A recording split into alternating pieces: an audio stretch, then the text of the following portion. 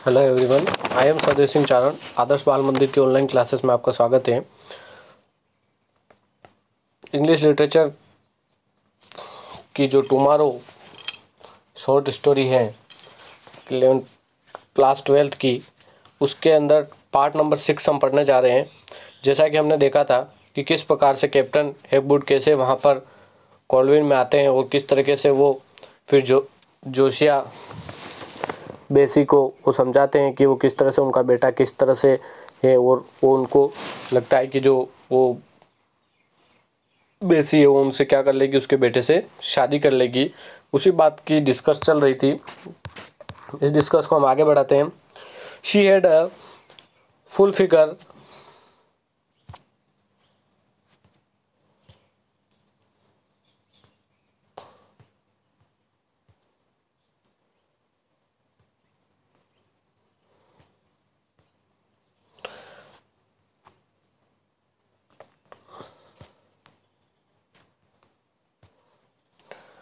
She had a full figure, tried, unrefreshed face. When Captain Egbert wanted necessity and propriety of home and delighted of one's own fair side, and smiled little with her lips only, her home delighted, and been confined to the nursing of a father during the ten best year of her life.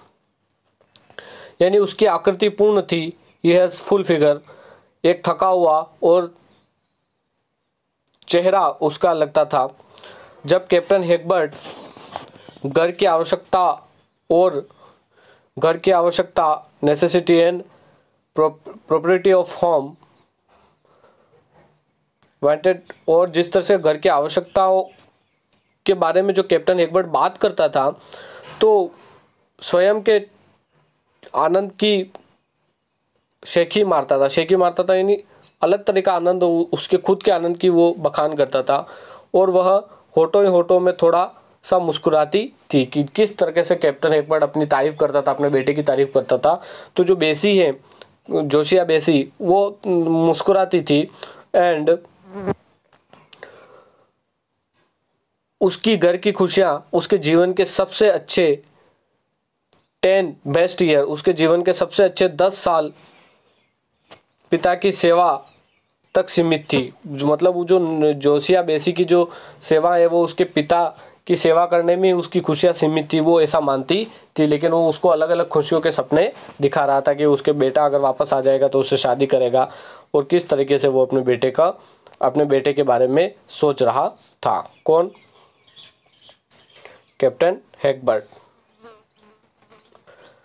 अगला paragraph लेते हैं। अ bestial roaring coming out an upstairs window would interrupt their talk. ऊपरी तल की खिड़की से आती हुई एक आवाज़ उनकी बातचीत को बाधित कर देती है। जहाँ पर वो बात कर रहे हैं तो ऊपरी खिड़की से एक आवाज़ आती है, वो उनकी आवाज़ को क्या कर देती है? रोक देती है। She would begin at once to roll up and crossed work और fold her sewing without the slightest sign of haste यानी क्या होता है कि वह बिना हड़बड़ी के एकदम अपने क्रोशिए क्रोशिए यानी जो बुनने के जो काम आते हैं, हम कह सकते हैं कि कपड़ा अगर बुनते हैं तो कि जो क्रोशिए होते हैं ना अलग अलग ऊन के जो आप कभी स्वेटर बुनते हुए देखा होगा था तो उसके जो क्रोशिए हो तो उसको क्या कर देती है? बंद कर देती है। क्रो क्रोचेट वर्क, यानी जो उसका जो, उसको बंद, एकदम थोड़ी देर के लिए बंद कर देती है। कौन? बेसी। इस, उसको बंद कर देती है। Meanwhile the halls and roads of her name would go on making a fisherman strolling upon to sea wall on the other side road turn their heads toward the cottage मतलब क्या होता है कि इसी बीच उसके नाम के गुर्राने और पुकारने की आवाज़ लगातार आती रहती है। बेसिया के नाम। किसकी? बेसिया सॉरी बेसी के नाम की आवाज़ लगातार आती रहती है। जिसे सुनकर फिशरमैन यानी मछुआरे जो सड़क के पार समुद्री दीवार पर चल रहे थे, होते हैं, अपने सिरों को झोपड़ियों की तरफ़ मोड़ लेते हैं। मतलब सिरों को मतलब अगर आपने देखा होगा किसी की आवाज़ अगर आती है तो हम उस तरफ़ देखने लगते हैं इसी तरह से वो मछुआरे भी उसी तरफ़ देखने लगते हैं वह धीरे धीरे क्या होता है फिर क्या होता है She would go slowly at the front door, and a moment after there would fall an profound silence. Presently, she would uh, repair, her, leading by the hand a man, grows up unwidely like a hippopotamus with a bad tempered, surely face. यानी क्या होता है कि वह धीरे धीरे वहाँ पर वह धीरे धीरे सामने के द्वार पर जाया जाती हैं और थोड़ा देर गंभीर शांति छाई रहती है। वो फिर से दिखाई देती है एक मनुष्य का हाथ पकड़ लाते हुए जो दरियाई घोड़ों की तरफ़ स्थूल शरीर एवं उग्र स्वभाव का दुष्ट दिखने वाला व्यक्ति था। कोई दो व्यक्ति उसको पकड़कर ला रहे तो कौन था वो हम देखते हैं आगे क्या होता है। He was a without boat builder whom blindness had overtaken year before in the full fish of business यानी वो जो आदमी है ही वॉज़ मतलब वो जो आदमी है, वह एक विदुर नौका निर्माता जो अपने व्यापार चलने के दौरान वर्षों पहले अंधा हो गया था। मतलब वो उस बेसी का बेटा सॉरी बेसी का बाप है, जो अंधा है और बोट बिल्डर है। Full flush of business he behave of his daughter as he had been responsible for its irreparable charter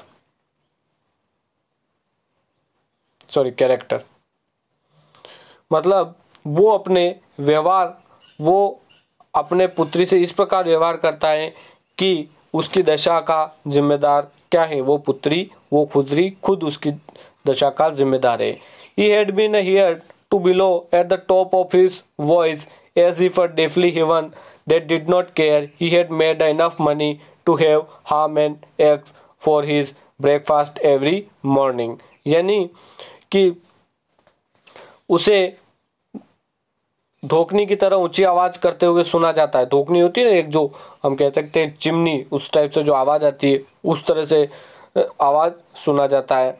जैसे वह स्वयं स्वर्ग को ललकार के कह रहा हो कि वह परवाह नहीं करता, प्रतिदिन सुबह के नाश्ते में अंडे और सुअर के सुखाए हुए मांस के लिए उसने पर्याप्त पैसा एकत्रित कर लिया था।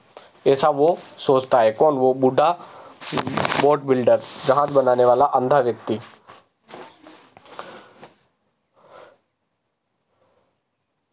हम हम यानी होता है। हम हम हम यानी हम कह सकते हैं कि सुअर का जो मांस होता है, उसको हम हम कहा जाता है। He thanked God for it in the friendship tone as that he were cursing और वह इसके लिए ईश्वर को ऐसे रुखे स्वर में धन्यवाद देता है, जैसे वह श्राप दे रहा हो। कि धन्यवाद भी ईश्वर का ऐसा दे रहा है कि ईश्वर को ही वो क्या कह रहा हो? श्राप दे रहा हो। इस प्रकार से उसको धन्यवाद देता है। Captain Egbert had been so unfavorably impressed his tent that once I told Miss Bessie he is a very extravagant fellow, my dear. Captain Egbert अपने किराएदार के प्रति इतनी अधिक गलत धारणा रखता है कि उसने एक बार फिर मिस बेसी से कहा यह बहुत ही फिजूल खर्च व्यक्ति है मेरी बच्ची। वो उसको उसके पिता के खिलाफ क्या कर रहा है? भड़का रहा है। वो कह रहा है कि ये बहुत ही एक्स्ट्रा वेजेंट यानी बहुत ही ज़्यादा फिजूल खर्च व्यक्ति हैं मेरी बच्ची, ऐसा वो उसको कहता है। Miss Bessie is a very, she was a printing that day, finishing the pair of socks for her father. Hope expected to keep up the supply dutifully she hated a printing and she was just at the heel part and she had keep eyes up on her needles. needles मतलब कि उस समय, उस दिन वह पिताजी के लिए एक जोड़ी मोजे, यानी सॉक्स बनाने को समाप्ति कर रही थी और वह सोच रही थी कि बुनने के कार्य के प्रति वह एकाग्र चित्ता बनाए रखेगी वो बुनाई से घृणा करती थी, उसे बुनाई से नफरत थी चूँकि वह मोजे पर एक जब मोजे का जो एंकल जो भाग आता है, वहाँ पर एक तक निगाह से देखना पड़ता नहीं तो छोटा बड़ा हो जाता है। जहाँ बुनने के लिए वो क्रोशिया पर आँखें गड़ानी पड़ती, जो निडल्स होते हैं निडल्स यानी जो क्रोशिया होते हैं, उस पर आँखें गड़ानी पड़ती है, इसलिए वो उस पर ज़्यादा ज़ोर देती है।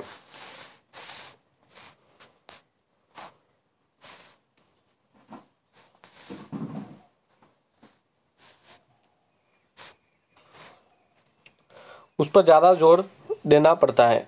Of course it is not as a fate provide for captain Egbert went on a little vacantly girl of course don't require so much hmm they do not run away from home my dear वास्तव में ऐसा नहीं होता यदि उसके पास एक लड़का होता जिसे वह यह सब कुछ देता।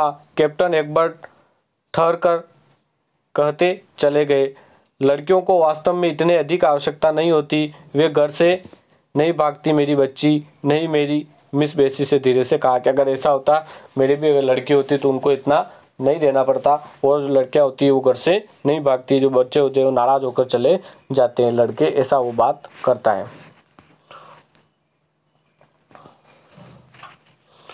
No set miss Bessie quaintly quietly captain एक एकबर्ट amongst the mounds and turn up the earth, choke with his melting ring, his uh, weather beaten face, his uh, beard of father Neptune. He is a resemble a deposit sea god who had uh, exchanged the trident and spade. मतलब वो captain एकबर्ट अपनी मिट्टी जो खोद रहा था उसमें मुँह दबाकर हंसने लगता है समुद्री जहाज़ समान के साथ मौसम से पिटे हुए चेहरे के साथ फादर नेपच्यून की तरह दाढ़ी वाला व स्वर्ग में गिरा हुआ समुद्र देवता जैसा लगता है, जिसमें त्रिशूल के बदले फावड़ा ले लिया हो। त्रिशूल यानी ट्रिटेंट ट्रिटेंट ट्रिटेंट ट्राइटेंट, ट्राइडेंट। ट्राइडेंट यानी क्या होता है? ट्राइडेंट यानी होता है त्रिशूल। फॉर स्पेड स्पेड यानी फावड़ा। कि उसने त्रिशूल के बदले क्या ले लिया हो? फावड़ा ले लिया हो कि वो जो मिट्टी खोद रहा था उससे लगता है। और वह तुमको and he must look upon your already provide for a manner that is the best of it with girls the husband he winked Miss Bessie upset he is a knitting curled faintly मतलब फिर क्या होता है कि वे घर से भागती है और इधर उधर घूमती है। वो वह तुमको ऐसे देखेगा जैसे उसने सब कुछ पहले ही दे रखा हो। ये लड़कियों के साथ सबसे अच्छा है। पति उसने आँखें मटकाई, मिस बेसी अपनी बुनाई में लगी रही। उसका रंग उड़ गया था। Bessie my head all curly blowed on suddenly. He had been sitting under the tree and motionless like a idol some remarkably measure sub subsections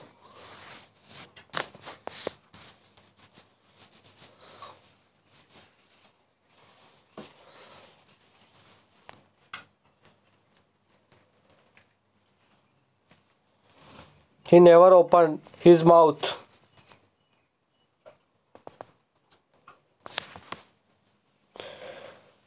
But to howl for her and is some time about her and them did not uh, moderate the term of abuse. Her system was never answer him to all and keep him shouting till the attempt to till shocking him by the arm or thrust a mouthpiece of the piece of between his teeth. He was one of few blind people who smoke. When he felt he had a being put off his head and stopped his noise, he once then arose and they passed together through the gate. यानी कि बूढ़े जो कोरविल हैं अचानक धोखनी की तरह हाँपते हुए, बेसी मेरा हेट वो ऐसा कहती, कहता है। वो पेड़ के नीचे चुपचाप गतिहीन बैठे हुए थे, जैसे कोई विकराल पिशाच की मूर्ति, यानी एक राक्षस की मूर्ति हो, इस तरह से वो बैठा हुआ था, उसका पिता। वह जब भी अपना मुँह खोलते, उसमें चिकने चिल्लाते, भला बुरा कहते, कभी उसके बारे में, और कभी फिर अपनी गालियों की भाषा को संतुलित नहीं करते, इतनी भद्दी भद्दी गालियाँ वो देते थे। उसका भी तरीका था, कभी भी बिल्कुल जवाब नहीं देना, वो भी कभी सामने से जवाब नहीं देती थी। वह लगातार चिल्लाते रहते थे।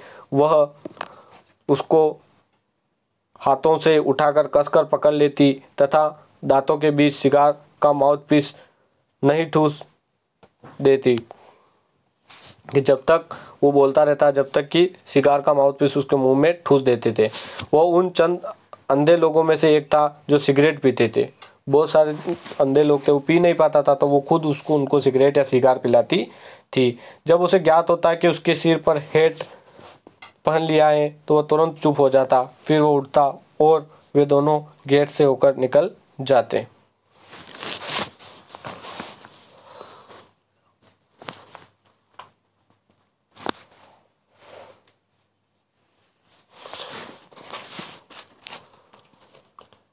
ही वैक्ड वैक्ट यानी किसी पर वेट वैक्ट वैक्ट वैक्ट यानी किसी पर वज़न डालने की जो स्थिति होती है, उसको हम कह सकते हैं walked he walked heavily on her arm during their slow toilful walks he approach to be once them rose and they pass together through the gate he walked heavily on her arm during their slow toy toilful walk she appeared to be bringing with her four pence burden of this uh, influm bulk. Usually they cross the road once and for a long long time every would remain in you and ascending imperceptibly and fight of the wooden step that is laid top a sea wall canal like a leggy railing and amicable wet the troll with the memory of man group of the sturdy fishermen would emerge upon a sky walk along for a bit and sink without hes- hesitate there are broad nets like a cobweb and किग्निट spiders cobweb यानी मकड़ियों का जाला lie of the shabby grass of the slope looking up from a street and people town would uh, recognize to uh, Corvilles by the creeping slowness their get. Captain Egbert promoting aimlessly about the cottage would raise his hand seized got on in this air promenade.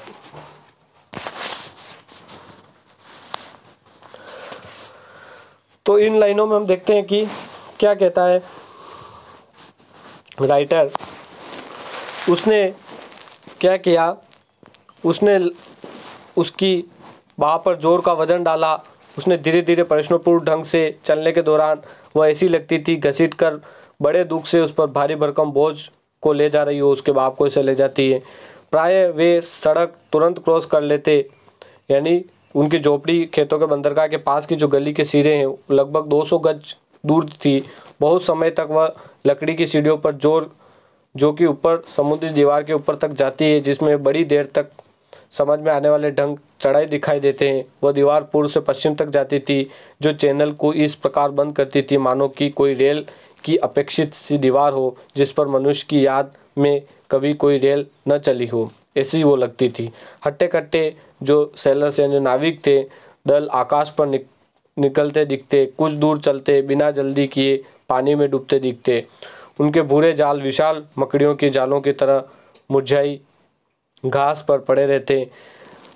गली के अंतिम छोर से देखते हुए धीरे धीरे चलने के ढंग को लोग उन्हें कौरविलों को पहचानते। कैप्टन एक बार अपनी झोपड़ियों के आसपास निरुद्देश आराम से घूमते हुए फिर उठाकर यह देखते कि वे किस प्रकार अपनी उस समुद्र किनार वाली रोड पर आ गए हैं।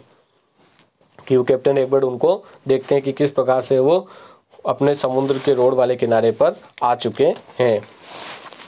कैप्टन एकबर्ड वहाँ से देखते रहते हैं।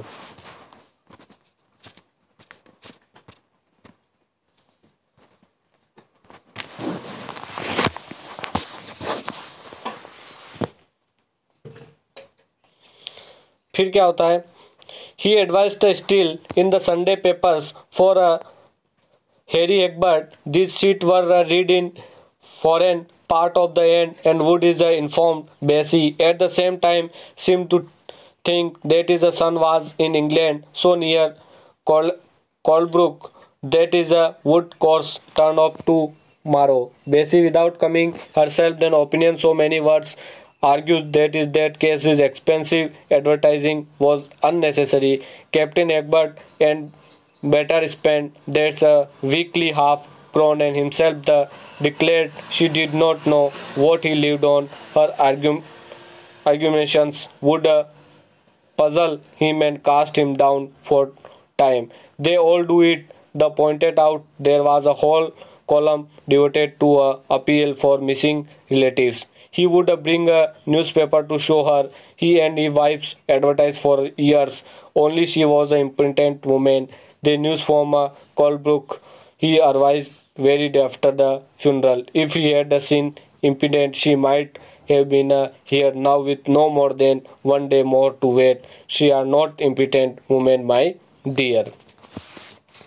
तो ये मैंने पूरा एक साथ पढ़ लिया है इसको हमसे समझा देता हूँ वह जो अभी तक हैरी हेगबर्ट के लिए रविवार के अखबारों को विज्ञापन देता रहता था कौन captain Hegbert captain Hegbert Harry Hegbert रविवार को विज्ञापन उसके अखबारों में देता था, उसके जो बेटा जो गुम गया था उसके लिए। इन अखबारों को विदेशों में संसार के अंतिम सिरे से पढ़ा जाता था, उन्हीं अखबारों में वो देता था, वो बेसी को बताता था। उसी समय वो यह भी सोचता था कि उसका बेटा इंग्लैंड में है वह कोर्लेब्रुक में इतना नज़दीक है कि वह निश्चित रूप से कल आ जाएगा। उसकी इस राय को बिना स्वीकार किए हुए बेसी बहुत ही, बहुत से शब्दों में तर्क देती कि इस हालात में विज्ञापन में खर्च करना व्यर्थ है कि आपके पास, अपने पास पैसा कम है और इस हालत में विज्ञापन पे पैसा खर्च करना बहुत बेवकूफ़ी है इससे अच्छा है कि उस आधी क्राउन की साप्ताहिक व्यय की राशि को हेकबर्ट अपने स्वयं के ऊपर खर्च करें कि जो आप विज्ञापन पे देते हो वो राशि क्या करो, आप खुद अपने आप पर खर्च कर सकते हो। वह कहती थी, उसे पता नहीं, वह कैसे जीवन यापन करता है, उसके तर्क से परेशान कर देते हैं तथा कुछ समय के लिए उदास रहता है। वह कहता, सब लोग ऐसा ही करते हैं, अखबार कालम होते हैं जो संबंधियों के खोए जाने का विज्ञापन से भरे होते हैं। वो उसे दिखाने के लिए अखबार लेकर आता है। उसे उस पत्नी ने वर्षों तक विज्ञापन दिया था। सिर्फ़ वही एक अधीर औरत थी। उसके अंतिम संस्कार अगले दिन तक कॉलेब्रुक से समाचार आने लग गए थे। यदि वह इतनी अधीर नहीं होती तो बगैर एक दिन के देरी के लिए वह भी यहाँ होती। आप अधीर महिला नहीं हो, मेरी बच्ची। ऐसा वो अपनी उसको बेसी को कहती है कि वो इतनी विचलित महिला थी कि वो भी अपने बेटे के लिए इतनी विचलित, अगर इतनी ज़्यादा विचलित नहीं होती तो आज हमारे बीच में वो होती। किसके हेरी एकबर्ट की माँ के लिए वो कह रहा है, अपनी पत्नी के लिए वो ऐसी बात कर रहा है। I have no patience with you sometimes, she would sigh, say, if the still advertised for his son did not offer reward and information anymore, for with the medal liquidity mental discontent and had response himself into a conventions is a clear daylight and already attend to a dude expectant in way. What more could he want? Colebrook was the place. His was no need ask for. Miss Corville praised him the good sense and she shooted by the part of took in his hope, which had become his delicious in the idea which the blinded his mind and truth. Probability just other old man, other cottage had been made blind by another disease. So the light and beauty of the world. But anything he would interrupt a interrupt as a doubt any coldness and assist even a simple institutions institutions and development of the projects of the with a returned son and his son's wife would uh, irritate him for feeling Jack Winkle and Sim glances. He would uh, dash him spit into the ground, walk to before it. Miss Bessie called his uh, tantrums. She shakes her finger at him. Then we he come up again after that dissipated with her anger. He would watch out the corner, his eyes for least sim encouragement approach. The iron railing resumed the threatening and patroning, patroning relations. Petro patronizing relation patronizing यानी पिता के जैसे relation पितृतुल्य relation जिसको हम कह सकते हैं। तो यहाँ पर क्या हो रहा है कि कभी कभी मैं आपके साथ धैर्य नहीं रख पाती हूँ, ऐसा बेसी कॉर्विल किसको कहती है? कैप्टन हेकबर्ट को कहती है। यदि वह अब भी अपने बेटे के लिए विज्ञापन करता है, उसे सूचना देने के लिए किसी प्रकार से इनाम नहीं रखा, क्योंकि मानसिक अव्यवस्था के भ्रम में उसे अपने आप को दृढ़ विश्वास का कारण समझा था कि प्रकार दिन प्रकार स्पष्ट होता। उसी प्रकार उसने सब प्राप्त कर लिया है, जिसकी आशा होनी जानी चाहिए। वह अधिक क्या चाह सकता है? कॉलेज बुक ऐसा स्थान है? उसके पास अधिक मांगने की आवश्यकता नहीं है। मिस कॉर्विल उसकी अच्छी समझ, प्रशंसा करती थी तथा उसे उसके द्वारा उसकी आशा, विश्वास व्यवस्थ करने के लिए सांत्वना मिलती थी। यह आशा है कि उसका भ्रम बन गया, जिसमें मस्तिष्क की सत्यता को सांत्वना मिलती है। पट्टी बाँध ली है कि उसने ये पट्टी बाँध ली कि हाँ वो आने वाला है। ठीक उसी प्रकार, जिस प्रकार दूसरा आदमी जो दूसरी झोंपड़ी में था, उसे दूसरी बीमारी ने अंधा कर दिया था। एक तो वैसे अंधा था और एक दूसरी बीमारी के द्वारा अंधा था कि वो बेटे की लौटने की प्रश्न इंतज़ार में अंधा था। लेकिन उसकी बेटे के लौटने पर उसके वह उसकी पत्नी के साथ आराम से घर में रहने की योजना प्रति जरा भी संदेह बोलने से लहजे में उदासीनता थोड़ी सी ध्यान की कमी उसमें लगती थी कि वो आएगा और उसकी पत्नी वो दोनों वहाँ पर रहेंगे। मिस बेसी इस, उसकी इस बदमिजाजी कहती थी, वो उसकी अपनी उंगली हिलाती वह फिर से बाहर आती, क्रोध से वह उससे अलग हो जाता। उसकी आँखों से किनारे से लोहे की रेलिंग के पास पहुँचने को पुनः वह पितृतुल्य संबंध हो पाने के लिए उत्साह के हल्के चिन्ह को देखता और वो ऐसा कहता तो उसको थोड़ा गुस्सा आता फिर वापस वो उसके पास जाती और उसे पिता तुल्य चेहरे की बात यहाँ पर नज़र आती है। तो किस प्रकार से ये जो स्टेंजा, ये जो पैराग्राफ मैंने आपको समझाए हैं, इसमें वो किस प्रकार से कैप्टन एक बार अभी भी सोचता है कि उसका बेटा कल आएगा कल आएगा, और अखबार में फ़ोटो छपवाता रहता है और वो बेसिक कॉर्विल को भी मनाता रहता है कि काश वो मान जाए और उसकी बेटे, बेटा आ जाए और उसके बेटे के साथ वो शादी कर ले ताकि वो बेटा वहाँ पर रहे और उसको छोड़कर नहीं जाए। तो वो कह रहा है कि एक तरफ़ तो अंधा व्यक्ति लेकिन एक तरफ़ तो ऑलरेडी अंधा इसलिए कि वो अपने बेटे को पाने की लालसा में अंधा है और एक ऑलरेडी अंधा इस तरह से कि कंपैरिजन कर रहा है। तो ये स्टोरी इसका अगला पार्ट हम नेक्स्ट वीडियो में देखेंगे। तब तक के लिए थैंक यू